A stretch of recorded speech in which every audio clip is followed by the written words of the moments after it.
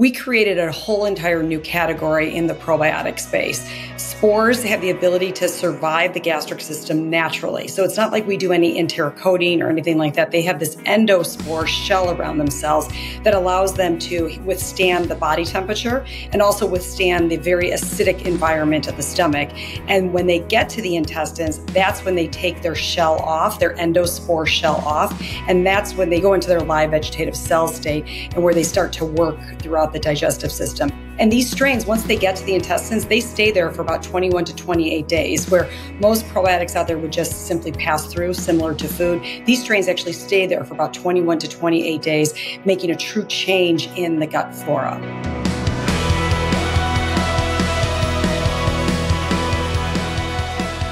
Well, everybody, I get to invite and interview two pretty smart cookies on today's show. I have a research microbiologist who specializes in the human microbiome and wellness. Kiran Krishnan uh, is my first guest. And Kiran is joined by Tina Anderson, who actually began her career as a trial lawyer and now she is in the probiotics industry. So as you probably have already guessed based on uh, Tina and Kiran's background, we're going to be talking all things probiotics in today's show. And I have plenty of my own stupid questions about probiotics to ask you guys. So, what do you think? You ready for this? I'm ready. Oh, yeah. All right. All right. Okay, cool. You guys are with a company called Just Thrive. I actually had some of your gummies. You have these Just Thrive gummies. I had them in my smoothie this morning, believe it or not. I, I basically every morning is a competition to see how many different things I can squeeze into a smoothie. But tell me about how Just Thrive got started. Yeah, so um, my husband Billy and I were in the pharmaceutical industry for several years, and we thought it was great. You know, we're thinking, oh, we're you know delivering life saving medications, we're making a huge change in the world, helping people feel better. But after being in the pharmaceutical industry for several years, we started to see a lot of the abuses in the industry, the overprescribing of medications. The we saw it with our own family members. You know, we'd see one pharmaceutical, she'd be on one, and then before you know it, she'd be on a different, twelve different medications and never getting any better. Um, and so we are really focused on mindset. We're deep thinkers. Um, and we just felt that we weren't doing our life's work. And so we, my husband was seeing a naturopathic physician who worked with Kiran and through, I think being at the right place at the right time and a lot of um, meditation, um, we were able to license these um, strains out of London University, these probiotic spores out of London University. And from there, that's where Just Thrive was born. And it's been the most amazing experience I've ever, I've ever gone through in my career how do you license a probiotic spore? How's that work? Let me touch on you know my my perspective on why I got into the, the probiotic industry and, and was fortunate enough to partner with Tina on it. So I, I started looking at the probiotic industry from a microbiologist perspective, and a lot of things just didn't make any sense. Um, and then I come along and I meet this um, you know functional medicine doctor who has like a 95% gut practice, gut focused practice. He he approached almost every chronic condition by dealing with the gut. And yet he didn't use a single probiotic in his practice. And that was baffling to me, right? So that was, it, it caused me to ask a lot of questions. And, and when I started asking him, why do you not use a probiotic? He was using ferments and prebiotics and lots of other things. He said, because I've tried so many of them and most of them don't really do a lot. Uh, maybe they'll do something in the beginning, but then you'll see the effects fade and all that. And I, and it kind of resonated with me because when I started getting into supplements and nutrition and all that for athletic purposes and for endurance and performance purposes, and I started looking at probiotics, I was like, the way they're formulating these things, packaging them, putting them in refrigerators, adding all these crazy capsules and all that, most of that doesn't make any sense. And so we wanted to rethink the idea of what a probiotic truly is and how you approach it uh, from a formulation perspective. And so one of one of the ways in which you you advance your um, your your project in terms of building your own proprietary probiotic is you have to find the right strains, and, and I'm sure we'll talk about what the right strain means and what it should be doing. Uh, but the, there's a lot of academic researchers that have spent a lot of time and a lot of grant money isolating strains from numerous sources. Now, for probiotics, you want to isolate strains generally from um, human from the human gut microbiome. Uh, because these are strains that then have some familiarity with functioning in the gut microbiome, which is a very complex ecosystem. And so they isolate the strains, they characterize it properly, they do full genomic sequencing so we know every single protein and every single gene on those strains. And, and then they, they start to study what some of the strains functions are. If you have connections with these academics, then you can approach them and say, Hey, I know in your academic pursuits, you've isolated these strains to try to learn about them, but we'd like to commercialize them. And if you can work out a deal with them, you can basically license the mother culture, if you will, the original strain that they isolated. And then you get access to that and all of its genomic information to try to scale it into a commercial scale, a commercial strain so that you can produce it at commercial scale. So that's the kind of deal we would do. And we did that with London University. So when you say isolation, please don't tell me that that's just like random healthy donors pooping in a toilet bowl and the researchers collecting it with a spoon and putting in a food dehydrator or something like that. Unfortunately, that is. Yeah. Yeah. It's, really? Uh, it's oh collecting a lot of poop, right? So if you think about a sample of poop, may have upwards of two, three thousand different species in there, um, and the idea is to collect maybe samples from all different parts of the world, so you get an uh, understanding of what the population distribution looks like of microbes in different people from different parts of the world. And so then you take stool um, and then you you rehydrate it and you create a slurry and then you actually spin off uh, using centrifuges all the bigger, more massive things like the fibers and things that didn't get digested well or absorbed, and then and then you try to spin down what we call into pellets. These pellets are basically concentrated bacteria.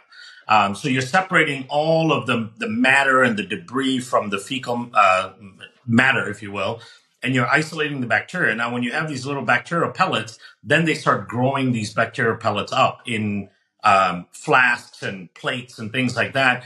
And then you start streaking them and isolating colonies because every bacteria will have a slightly different colony. Then you pick the colonies, you do genetic sequencing, and you try to figure out what they are. So it, it is a lot of shit work, if you will, because these these researchers are literally dealing with pounds and pounds of shit from all over the world. And if I find a piece of like corn or carrot slice in my probiotic capsule, that means they didn't do a good job with the centrifugation. exactly. But it's probably healthy for you, so I wouldn't be too alarmed. So well, it's it's good to know that they can isolate it and grow it, and that if your guys just thrive becomes you know a ten billion dollar company, that you aren't going to run out of people pooping in order to keep up with the probiotic production. So that that's an important one. So a lot of people have a, a misconception that when you use a, a human isolate strain, that the continuous supply of the strain continues to come from people. Um, but it's not. Once you isolate a strain and you have the original strain, the original culture, you can keep that strain indefinitely in the freezer for thousands of years. So we have the original strain that was isolated something like 15 to 20 years ago, sitting in a freezer, and, and numerous um, uh, copies of that strain sitting in little tiny, um, little little tiny vials in a freezer in minus 80 degrees uh, Fahrenheit. And um, and and every time we do a production, we actually pull one of those little things and we inoculate a vessel with it and allow it to grow, and then we inoculate the next vessel and so on. So um, so it's sitting there in the freezer. We never have to go back to the human source again. That is so cool. Tina, when you came to Kiran, did you already have in mind what strain that you wanted? No, we didn't. We were looking at gut health because we had learned about the importance of gut health. That was shortly after the Human Microbiome Project was launched by the National Institutes of Health, told us more about the gut than we ever knew before. And we were, we just knew we wanted to get into the gut health space, but we had talked to the functional medicine practitioner that Kiran had mentioned. And he's like, the probiotics out there just aren't working. They're not working. And one day he called us into his office and he said, you will not believe this, but um, we have the opportunity to, you know, license these strains at a London university. And he's like, this is the real deal. This actually, this works. And so that's kind of how it happened. Okay. So tell me more about the strains. So they're bacillus spore strains. And one of the biggest, you know, differentiators of it is it's their ability to survive the gastric system. We created a whole entire new category in the probiotic space. Spores have the ability to survive the gastric system naturally. So it's not like we do any enterocoating or anything like that. They have this endospore shell around themselves that allows them to withstand the body temperature and also withstand the very acidic environment of the stomach. And when they get to the intestines, that's when they take their shell off, their endospore shell off. And that that's when they turn into a live vegetative, they go into their live vegetative cell state and where they start to work throughout the digestive system. And, and these strains, once they get to the intestines, they stay there for about 21 to 28 days, where most probiotics out there would just simply pass through, similar to food. These strains actually stay there for about 21 to 28 days, making a true change in the gut flora. So could anybody just wander in? Like, like, could I just start whatever greenfieldprobiotics.com and, and go wander in and get that same strain and use it? Or are you guys able to somehow protect that at Thrive? Yeah, at Just Thrive, we're able to protect it. We have, uh, you know, a supply agreement and exclusivity, and um, that, that's what we, we've been able to secure. Have you figured out a way to combine that strain with anything else that makes it more effective? Well, we have combined it with other bacillus spore strains, and um, and that's a really great question because one of the biggest problems in the industry that we're seeing is um, these kitchen sink formula to probiotics. There, where they say you know they have 10, 15, sometimes 20 different strains in the product, and they don't know what they're doing together. That is one of the biggest things we have been trying to push in the probiotic industry is get a study on the finished formulation because these are live microorganisms. We don't know how they're going to play with each other.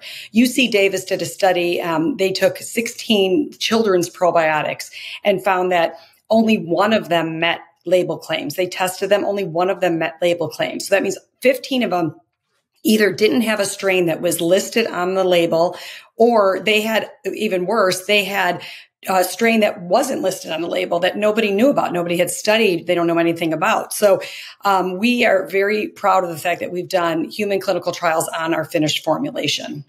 What kind of stuff have you found out in your trials?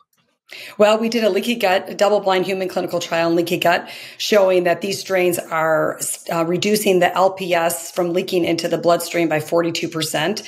Um, that study was profound because we also found people who were in the placebo group actually saw a 32% increase from of LPS um, after, you know, 30 days. Yeah, and, and and by by the way, LPS, explain that to people who might not know what that means.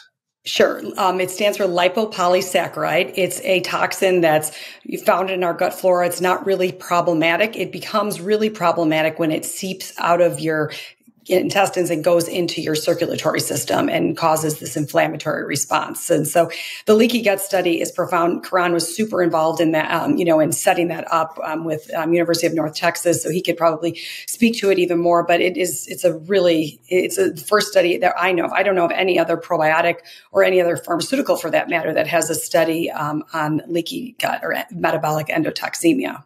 Any other cool trials? Yeah, so we've done we've done a number, and and uh, I want to elaborate on the leaky gut study as well a little bit. Um, but some of the other trials are uh, we did a study on liver function, right? So there's this um, enterohepatic circulatory and protection axis, meaning there's a deep connection between your gut microbiome and your liver, uh, and how your liver functions as a result of your microbiome. Now, what we were able to, to see in this study is that the right type of microbiome and the right type of probiotic can actually protect the liver in damage. Now, this was a, an animal study because you can't induce damage in liver in humans on purpose, at least. Um, you know, you can. Uh, what we did is we took animals and then you you overdose the animals in uh, acetaminophen. So th- this is a, a, mouse study. And then in one group of animals, we used uh, clinically graded milk thistle uh, and actually, which is a prescription drug in, in parts of Germany. Um, and then we used the probiotic spores, the Just Thrive spores. And what we saw was that the Just Thrive spores were able to protect the liver of the animals from damage from the overdosing of uh, acetaminophen, as well, and in some cases better than the milk, milk thistle did. So, so negating any of the damage from overdosing it. And that just goes to show like the intimate connection between all these other body systems and a healthy microbiome and having a healthy probiotic that facilitates a microbiome. You know, and the leaky gut study that Tina mentioned, the, the reason we became so interested in that is back in 2012, we were pondering and thinking like, okay, if we had the best probiotic there is, what would we want it to do? Right? What is arguably the most important function of a probiotic? Because there's lots of things probiotics can do, right? They can alleviate gas and bloating and diarrhea or constipation, all the digestive issues, and those are all important. Uh, but what would we want to do to really move the needle in human health? And it became clear that we wanted it to resolve intestinal permeability because intestinal permeability comes about as a result of a change in the microbial environment in the gut, right? Your gut is naturally designed to not be overtly permeable. It has a dynamic permeability, meaning it allows things to go through, but then there's lots of things that it shouldn't allow to go through, including this LPS endotoxin. So when you lose that dynamic permeability and your gut becomes openly permeable, you start to get a lot of chronic low grade inflammation. And that becomes one of the biggest sources of chronic low grade inflammation. And as you know, that becomes the foundation for most chronic disease, right? So we saw a publication in 2015, which is a meta analysis of this topic. And they looked at something like 30 different published human clinical trials. And they concluded that the number one cause of mortality and morbidity worldwide in the in the developed world was intestinal permeability as a result of microbiome number one right? It's a number one killer worldwide. Um, and and it causes more mortality and morbidity than anything else worldwide because it's the foundation of so many chronic conditions like cardiovascular disease you know dementia alzheimer's diabetes all of these things. And then the American Diabetic Association, which is normally way behind on, on advances, published a number of studies from 2013 all the way to 2018 showing that metabolic endotoxemia, that's the, the scientific definition of leaky gut, is the initial insult that starts the process of insulin resistance in the vast majority of people. So we said, okay, if we can get a handle on this issue of leaky gut, if we can give people a tool that can stop that open permeability in the microbiome, then we're really moving the needle, right, on foundational health. They still have to do all kinds of other things to be healthy, but this moves the needle. And so we did that study and we published it in a journal called the World Journal, uh, the World Journal of Pathophysiological uh, Gastroenterology. So it doesn't roll off the tongue, but it's very good for, for uh, gut nerds. Uh, and it's an open source journal, so we're able to share the study. And we, we, for the first time, showed that you can actually stop and reverse this, um, this endotoxemia, right? So it was published as a frontier paper on that journal, which was really exciting to see. Man, so so when you hear about common causes of leaky gut, like eating too fast, eating in a stressed out state, eating these hyper hedonistic combinations of like vegetable oils and sugars, the fact that you just outlined that that is the leading cause for for all cause mortality really i mean really makes you think about wanting to to chew your food thoroughly and pay attention to gut health and not eating in a stressed out state just just as a base foundational practice. Totally. Yeah absolutely. And then you know overeating uh, one of the ways of inducing endotoxemia after a meal so they, it's post it's actually called postprandial endotoxemia because they measure the highest concentration of toxins in the body, and it's specifically the LPS, um, about three to four hours after the meal. And um, and and those meals that have that have a very high caloric density and very high volume tend to produce a very significant amount of endotoxemia. So this is part of that overeating uh, and the overeating and how that drives inflammation. Now, what's the role of the toxin, right? So w- let's talk about that for a moment, so people really wrap their head around. If you're not paying attention to your to your behaviors and your your digestion and your gut health and your microbiome, what happens when the toxin leaks through? So LPS is really fascinating because it's very pervasive in the body. It can get into almost any tissue in the body. And the reason it can is because it looks like our lipid bilayer, right? So it's got this like fatty acid tail on it and it's got this carbohydrate head, very similar to that lipid bilayer that makes up all our cell membranes. So it can just scoot its way into almost any cell, almost any tissue. After a meal, you find LPS in deep recesses in the brain, like the hypothalamus, the frontal cortex. You find it in your liver. You find it in your joints. You find it in your heart and your pericardium. So you find it in all these different areas of the body. And wherever it ends up, it elicits a very profound immune response.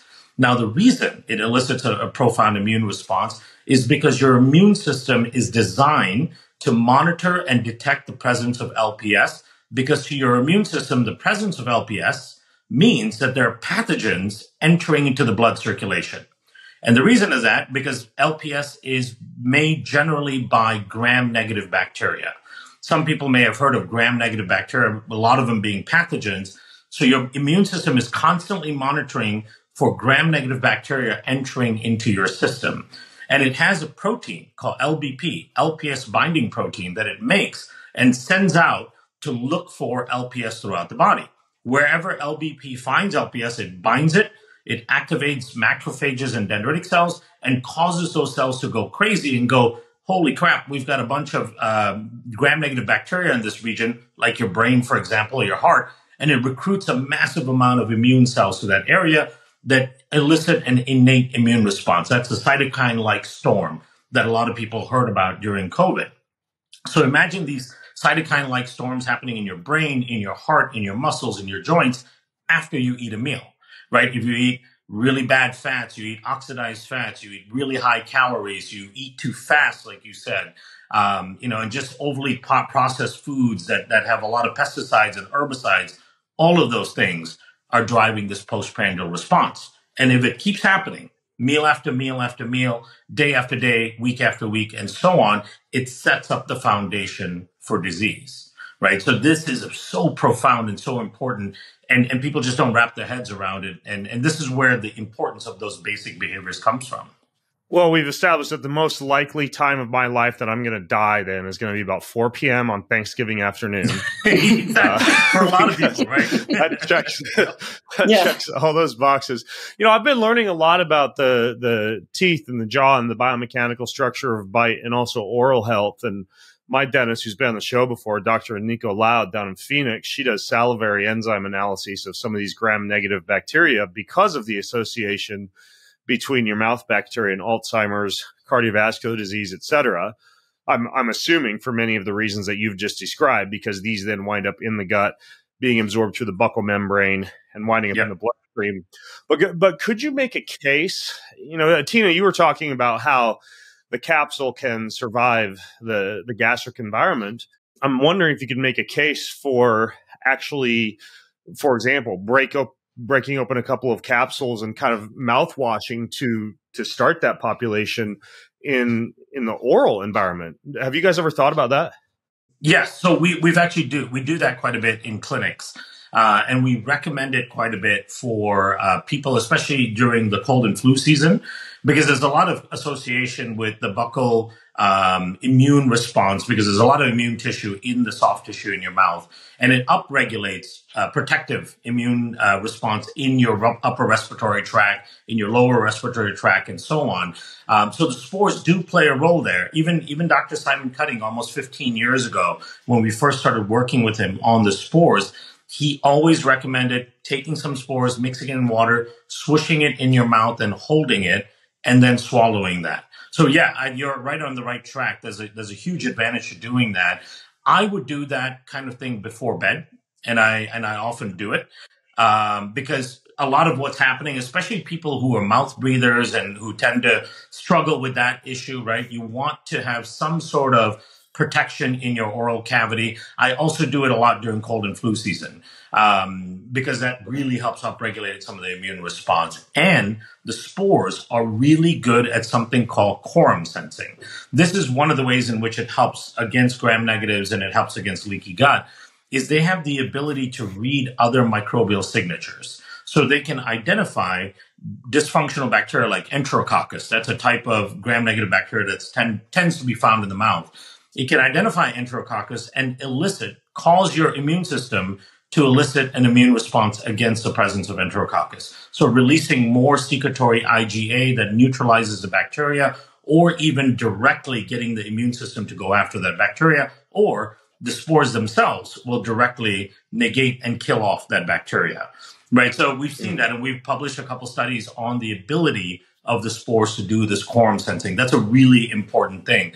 Now you can use it on your skin. You can mix it in with lotion. You can put it on your skin the spores are ubiquitous in the environment, and we've evolved to actually have this ongoing relationship with them where they're transient to our body. They show up, they clean up different uh, systems, and then they leave again and go back into the environment. So here's something uh, that that I'm interested in based on what Kiran was explaining about acetaminophen and liver injuries. You know, Tina, I know you're kind of a fellow health enthusiasts and do some biohacking and stuff like that. You and I have had a glass of wine before at some of these conferences and health events that we're at. Have you ever kind of tried it prior to maybe a cocktail and a glass of wine and, and assessed how you feel afterwards as an N equals one? Or have you guys seen anything done on alcohol in these specific strains?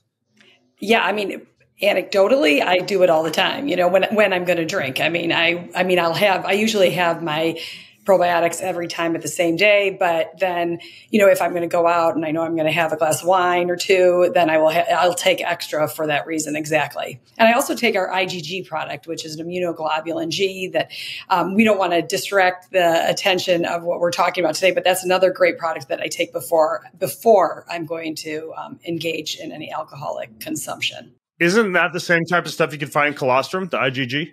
Actually, it's way more. Um, I mean, IgG, yes, IgG is found in colostrum, but the IgG that we work with actually has 25 to 50% more IgG than most common colostrums out there. Oh, wow. So for the leaky gut scenario, that could be a one two combo if you take that and then the lactobacillus strain at the same time. The bacillus, the bacillus spore strain. For the bacillus spore strains, yeah. Interesting. And, and in fact, there have been, you know, one of the things we really liked about the IgG is um, in in the condition of HIV, there's this there's this uh, marked thing that happens called HIV enteropathy, uh, and this was actually uh, a, a, large scale published study by the NIH that showed that the the biggest um, um, thing that affects HIV patients in terms of progression from being HIV positive to AIDS is the the development of leaky gut right? And and part of it is because the virus attacks the gut and gut, gut lining. It uh, it of course kills off the CD4 positive T cells. It causes CD8 cells to come in and start fighting it. And those CD8 cells are very inflammatory, so that destroys the lining of the gut. It makes the gut very very leaky in HIV patients. So they have leaky gut in a very profound manner, right? So it's a very accelerated, profound model for leaky gut. It's a very similar pathology that occurs in people with just poor lifestyle choices and lots of antibiotics and you're a common American, right? Uh, but it's a, it's a good model to study accelerated uh, decimation of lining of the gut. They did studies on the IgG, and we worked with them with the spores and the IgG. And and what they were able to show with the IgG is even in that condition of accelerated leaky gut damage, um, that they were able to start to repair some of that lining. So the combination is a powerful one-two punch because they work a little bit differently, uh, and it's a it's a great way of continuous protection on the lining of the gut and and the liver thing. You know, um, I've I've been thinking about this a lot because I do enjoy a cocktail uh, from time to time and some really nice high-end spirits. Um, and when you think about okay, liver protection, how do you negate some of the negative effects of alcohol? We know that that a lot of the negative effects of alcohol comes from the formation of acetaldehyde right? And acetaldehyde can be very inflammatory. So I have two thoughts in mind. Number one is okay, what drives some of the acetaldehyde production? There is some evidence that a dysfunctional microbiome actually produces more acetaldehyde than a than a more diverse um, uh, microbiome. And so there there is a, a, a, small case to be made with early evidence that the spores may be able to help with some with lowering some of that acetaldehyde. Uh, number two is the inflammation associated with the acetaldehyde and clearing it. That's where the liver comes in, and that's where all the flushing and all the, the disturbances to the rest of the body. The spores are anti inflammatory and they're profoundly anti inflammatory. And this is a very important uh, distinction between different types of probiotics. You know, we, it'd be, it'd be surprising to, un, to learn that a huge number of well-known probiotic strains are actually inflammatory. Uh, really? But that's exactly what was shown. Yeah, and this is uh, and this is a fascinating thing where there was anecdotal evidence, and then I and then I was able to work with researchers at University of uh, University College Cork in in Cork, Ireland, one of the biggest microbiome research uh, institutes in the world.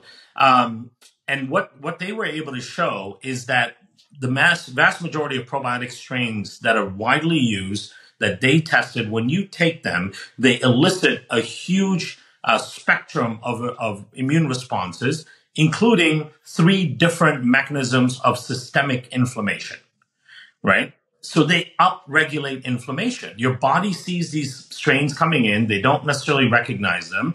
And as a result, the immune system gets fired up.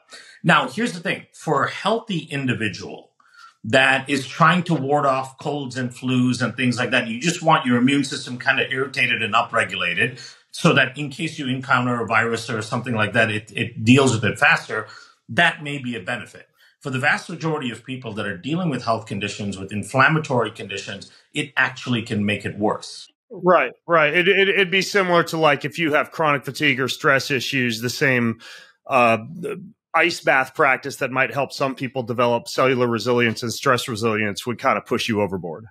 Totally. Yeah, exactly. And so when you look, when you work, and I, I have the pleasure of working with lots and lots of functional medicine practitioners. I have a whole other thing that I do in the functional medicine world. Um, and what, what I've come to find out is that a lot of holistic health functional medicine practitioners don't use any probiotics for their mast cell activation patients, their SIBO patients, their histamine intolerant patients, you know, people with all kinds of sensitivities, because these people tend to have a proclivity towards inflammation. And in their experiences, most probiotics make it worse. And now we have the answer. We go, ah, that's because most of these probiotics you wouldn't think but they upregulate inflammation. Now, the spores are what we call in the in the probiotic research world silent probiotics. That that means that they don't upregulate any of the pro-inflammatory pathways. In fact, they upregulate the anti-inflammatory pathways in the body. And that's a really, really important distinction between different probiotics this is where I get nervous when I see kitchen sink formulas with 15 strains in them and no research behind what the immune impact is, what the microbiome impact is, and so on, because many of those, especially in their combinations, could be quite inflammatory. So when you hear about people getting gas and bloating and sometimes a deleterious response to a probiotic, paradoxical because they thought it might help their gut, you're saying that it might not be due to what I kind of always thought was the case, right? Like throwing off the microbial balance in a way that causes gastric upset, but it may actually be inducing an inflammatory response. That's right. Yeah. It could be inducing an inflammatory response in the lining of their gut, um, just like a food that they may not be tolerant to would. Right. If someone's intolerant to a particular type of food, say dairy, they can't tolerate dairy. Well, they eat dairy, they're going to get gas, bloating, loose stool, and so on. Now, there's a there's a small sliver where where there's certain people that might ex- experience something called a Herxheimer reaction, right? A die-off reaction, or uh, naturopaths will call it like a healing crisis. Um, that is a change that's happening that's positive, but has a negative symptom in the beginning. And normally you work through that for you know two or three days. But if you're taking the kitchen sink probiotics and the stuff that just doesn't have clinical studies behind the finished product, and you're having a negative effect as a result of it, you could probably lean towards the idea that, okay, this is just not agreeing with my system. It's upregulating too much inflammation and it's probably not doing me any good. The, the, the qualitative way to differentiate between the two inflammation versus some kind of a Herxheimer reaction and die off of bad bacteria, I assume would be the length of time of the symptoms, a few days versus say several weeks. But I suppose from a quantitative standpoint, could you actually get like a like an inflammation marker test and see if you actually had higher levels of homocysteine or interleukin or something like that, and that would give you a pretty big clue that your probiotic might have contributed to an inflammatory spike. Yeah. So um, IL six would be one that would be good to check. Um, if you have a big spike of IL six uh, after using a probiotic, that generally means that the, that your immune system doesn't agree with that probiotic and it's not really helping you. Uh, but if you have, for example, some die-off like reactions, but your IL-6 isn't elevated, and then on top of that, you might see uh, interleukin 10 and uh, elevated, that means the probiotic's actually going to work trying to induce an anti-inflammatory response. But what is actually causing the discomfort is the microbes, the dysfunctional microbes that are present in your gut trying to fight against the presence of that probiotic. right? This is why they call it a die-off response. Um, but like the spores, for example, when they go in, one of the first things they're going to do into your gut is they'll do quorum sensing. You mean you you mean you mean the bacillus spores that that are that's in the Just Thrive stuff? That's exactly right. Yeah, the bacillus spores that are that are in the Just Thrive when they first enter into the gut, what they do is they start reading the microbial environment. When they when they identify dysfunctional bacteria, they'll sit next to them and they'll produce antimicrobials or they'll elicit an immune response to try to get rid of those particular bacteria. Now, those bacteria, when they're being killed off, will release a bunch of toxins. And those toxins can feel like discomfort in certain people. And, and so that's a, a die off reaction versus the probiotic coming in, your immune system going, I don't know what this is. Let's just attack it. And then attacking it and causing a bunch of systemic inflammation in the individual. That will happen over and over again for a probiotic that's in- incompatible to an individual. The die off response will go away in a day or two after those dysfunctional microbes are gone from the system. So here's something I'm curious about. When it comes to antibiotics, some people say take a probiotic when you start an antibiotic regimen to help to replenish what you're killing off. Some people say it doesn't have any benefit. And now I'm seeing research that suggests that probiotics might actually slow down the recovery of the gut microbiome after antibiotics. Do you have any thoughts on this? Yeah, you know, that's the, I think the Weizmann Institute study that recently came out um, telling us that, yeah, like some of these, the kitchen sink formula type probiotics that we're talking about will actually compete with your gut flora and actually hinder your own immune cells to actually fight off the you know effects of the antibiotic. And so, um, one of the things that we're so excited about with the spores that we studied is that actually, you know, we are huge believers that you should be taking a spore based probiotic while you're on an antibiotic. We've studied this. We know that the spores actually survive the presence of an antibiotic, which is huge. They actually, you know, will not be killed off by the presence of an antibiotic. We've studied this with some of the strongest antibiotics out there. Um, but and we know that these are these spores are not competing with our natural gut flora. They're actually working, you know, together with them. Um, cohesively. So, um, but yeah, that Weizmann study was kind of interesting because it told us that, you know, this is what we've been preaching for years. You know, we don't want to be, we have to be careful when you're taking these, you know, uh, multi-strain probiotics without a study on the finished product.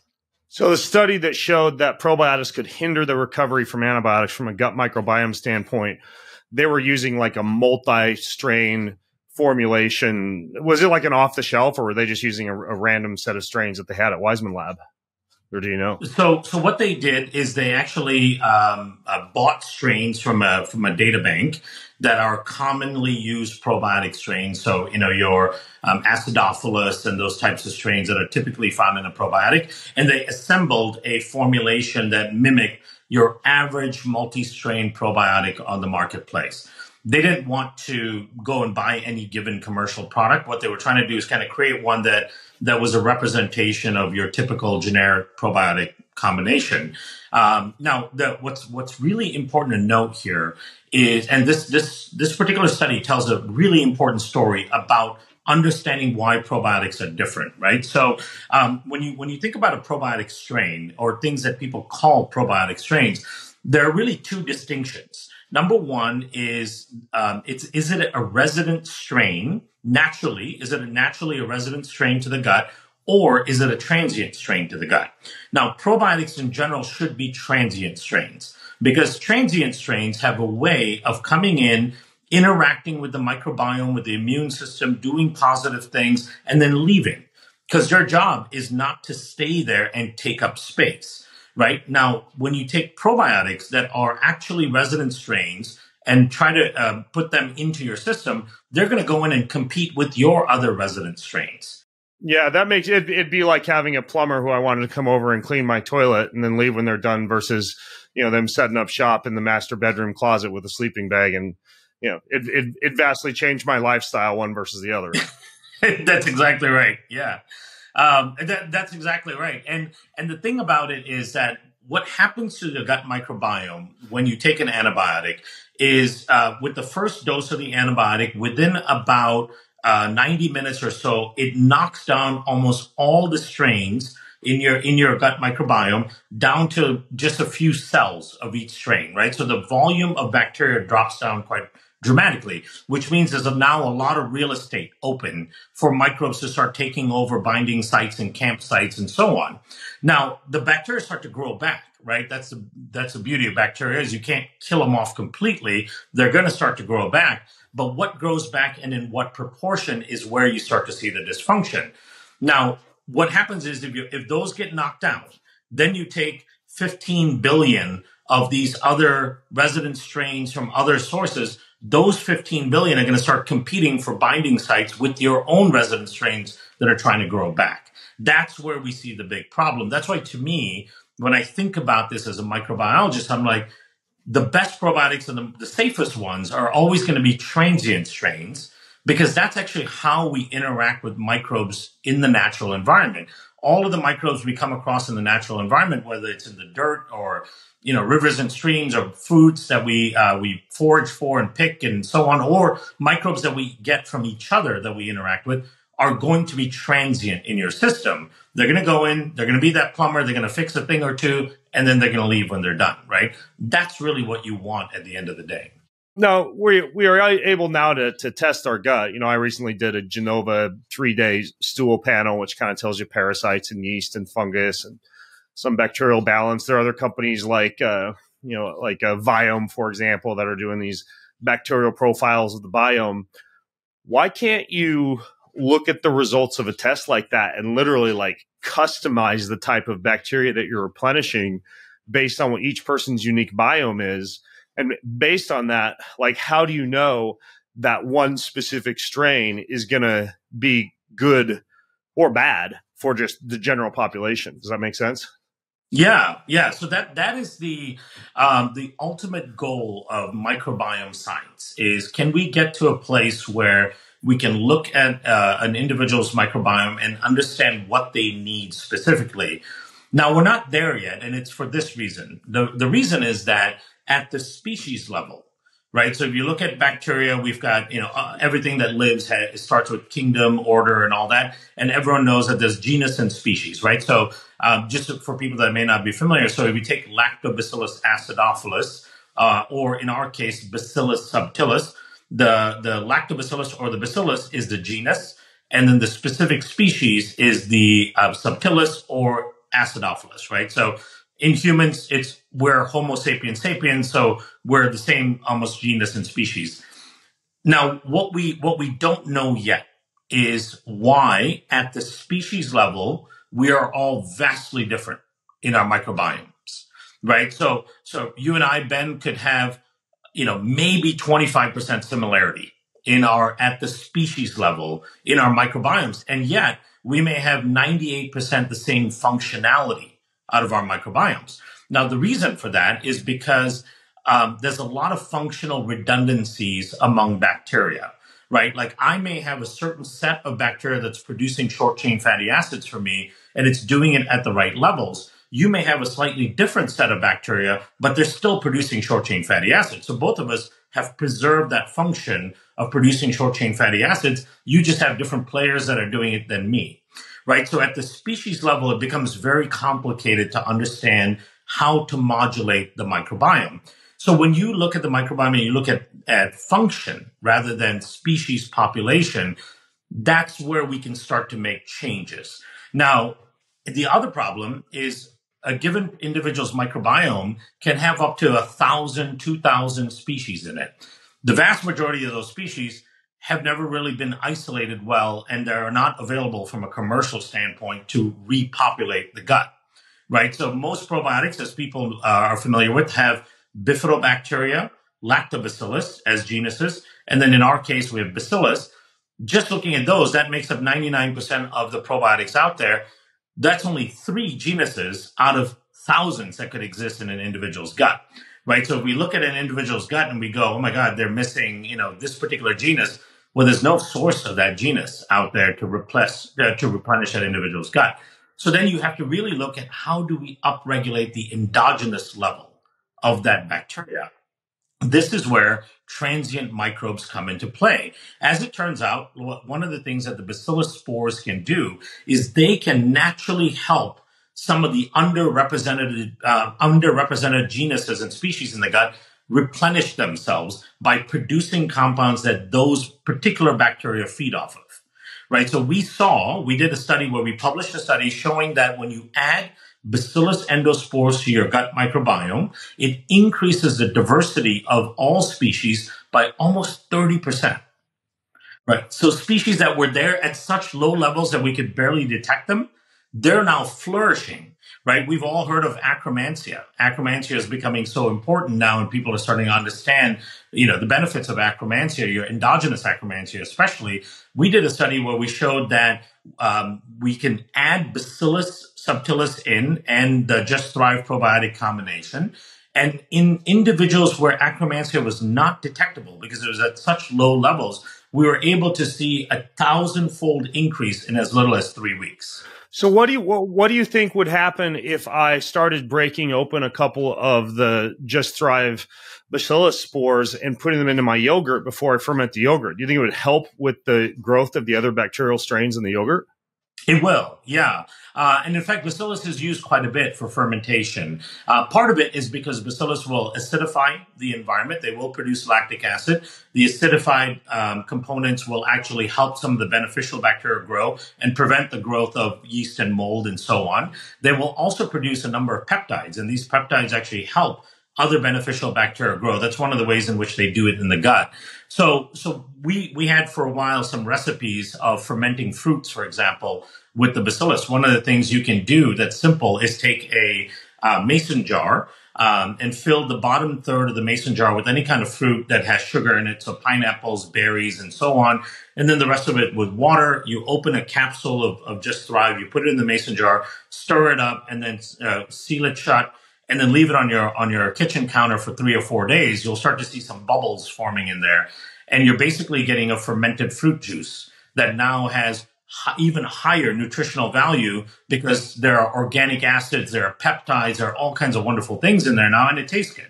Right, so you can absolutely do that as well as a side. You might have just saved me a bunch of money on my water kefir grains for making that countertop fizzy water kefir. That's I'm gonna have to try this. Tina, you guys need to do a, a cookbook too. Yeah, well, we do send out recipes on our blog. Oh, I didn't realize that. Okay. Now, kind of a logistical question. You know, it's like 100 degrees outside right now. What happens if I order from your company, it arrives, and like the bottle's hot? Yeah, it's that's not a problem at all. These spores are so hardy that they're able to withstand. We've tested them up to 455 degrees. They will withstand heat of up to 455 degrees, if not hotter.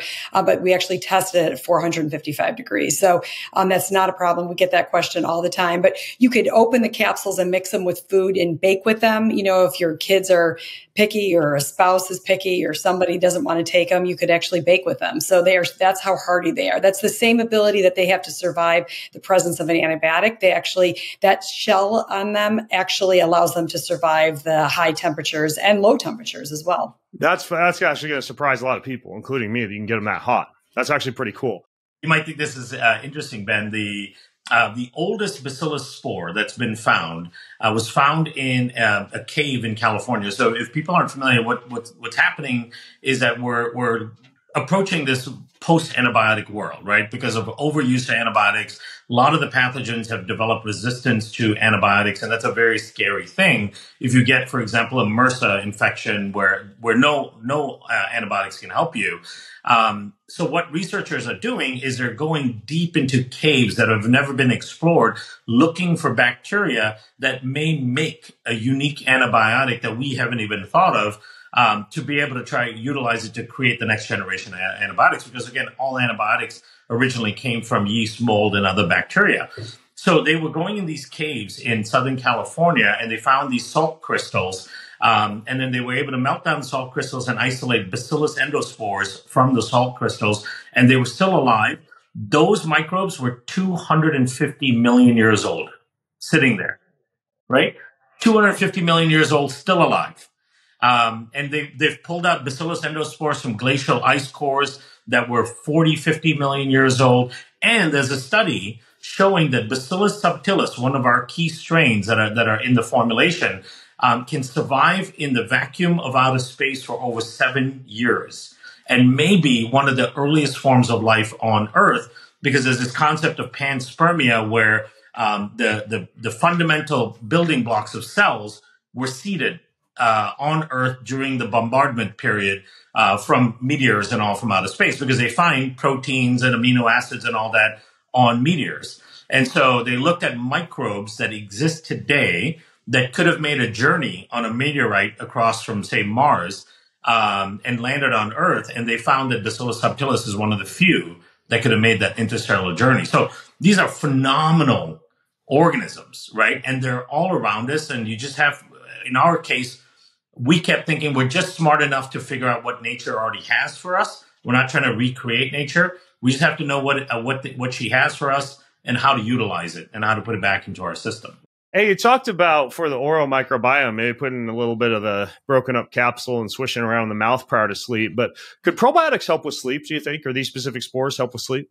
Yeah, absolutely. I mean, we know that there's that the gut brain axis. And so, so much of what's going on in your brain is affected by what's going on in your gut. So we see that all the time. So many people will come to the product because of the common digestive reasons, you know, gas, bloating, diarrhea, constipation.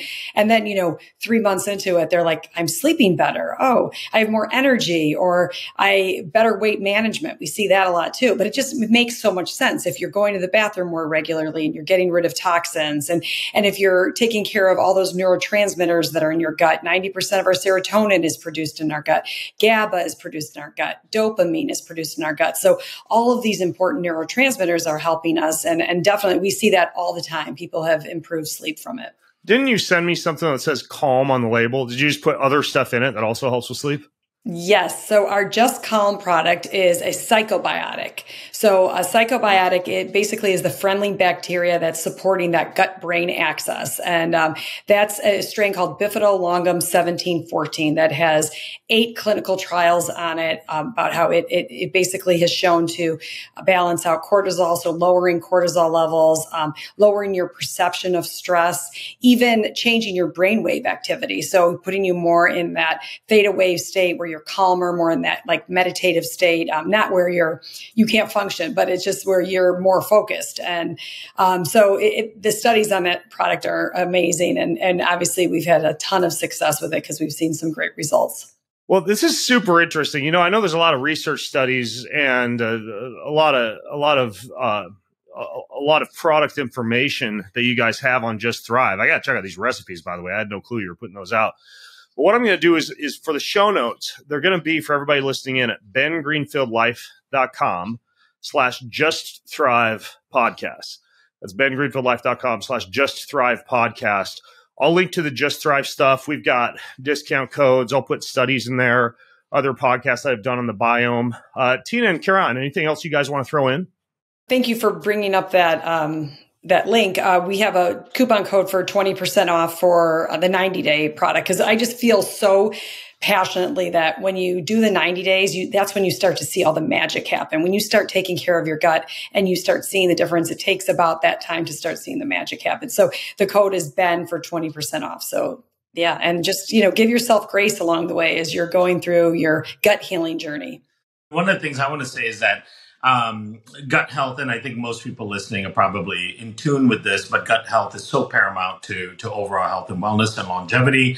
Uh, when you think about gut health and what is the healthiest marker of your microbiome, with, based on all the studies that have been published out there over the last 10 years, uh, and we're talking, you know, probably two or 300,000 studies on the microbiome, um, the, the really key foundational thing is diversity in the microbiome the higher the diversity of your gut microbiome, the longer you'll live, the more resilient you are to disease, you know, the more cocktails you can enjoy without all the negative effects. The, the, the better your muscles function, the better you, you, you perform in every single way. And so maintaining and increasing diversity is a critical step in in having really true foundational health. And the thing is, when you look at all of these listed known healthy behaviors like eating healthy foods, being outside, exercise, meditation, all of these things have been shown to actually increase the diversity of your gut microbiome. Another thing that really helps with maintaining and increasing diversity is taking the right probiotic. but you need a probiotic that has the ability to impact the rest of the microbiome, is transient in that way, and, and is designed by nature to improve the diversity of your gut microbiome. That's where these Bacillus endospores come in. So we're super excited to be to have been working with these for like ten years now, uh, and and we'll continue to work with them and put out more studies and more information. That's awesome. If you heard that part about diversity and you're listening in, that means if your idea of your vegetable intake is the all too common cucumber, carrot, tomato, lettuce, and maybe throw in some chicken and rice, then um uh, read my cookbooks or, or yeah. branch out. Wide yeah. variety of herbs spices fruits vegetables fermented foods meats and that's going to back up the use of these type of spores that we've talked about. All right you guys well thank you so much. And again for those of you listening in the show notes are at bengreenfieldlife.com slash just thrive podcast. 20% code that tina mentioned for that 90 day supply is ben. And have an incredible week. Do you want free access to comprehensive show notes, my weekly roundup newsletter, cutting edge research and articles, top recommendations from me for everything that you need to hack your life, and a whole lot more. Check out bengreenfieldlife.com. It's all there. bengreenfieldlife.com. See you over there. Most of you who listen don't subscribe, like, or rate this show. If you're one of those people who do, then huge thank you. But here's why it's important to subscribe, like, and or rate this show. If you do that, that means we get more eyeballs. We get higher rankings. And the bigger the Ben Greenfield Life show gets, the bigger and better the guests get, and the better the content I'm able to deliver to you. So hit subscribe, leave a ranking, leave a review if you got a little extra time. It means way more than you might think. Thank you so much.